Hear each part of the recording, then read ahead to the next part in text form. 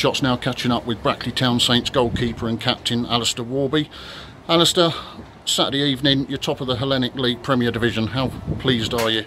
Yeah, it's great for the boys. Um, obviously, we've started the season really well. Um, there's obviously a long way to go, um, but it's a long season. Um, we've, I believe we played eight, 12 games now, won nine. Um, and yeah, there's a great buzz about, uh, amongst the team at the moment, um, which is completely probably different to last year. Um, and I think the result today just proves that we probably weren't at our best. I'd probably say 75, 80% at our best. But what we do this season is we grind out results, um, and we've done it throughout the year. To be fair, um, and how we've been playing instead of going probably a bit longer last year in terms of getting the ball down. Obviously, we've got a great facility here to do that, um, and yeah, we maximised it today. And obviously, four-one, and I'll, I'll probably say it could have been more.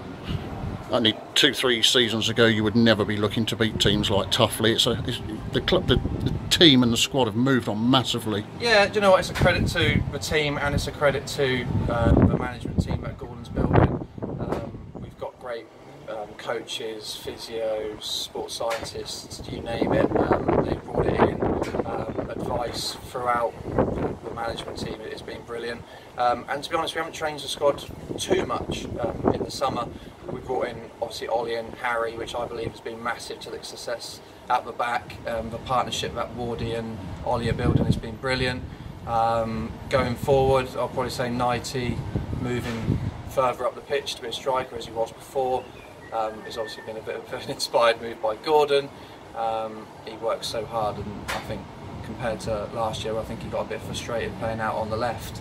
Um, we're, we're, building a really good squad, um, and I think it can go places. We're unfortunate in the cup, but look, keep working hard in the league, and I think we could be right up there. Are you enjoying captaincy? Yeah, it's good to be fair.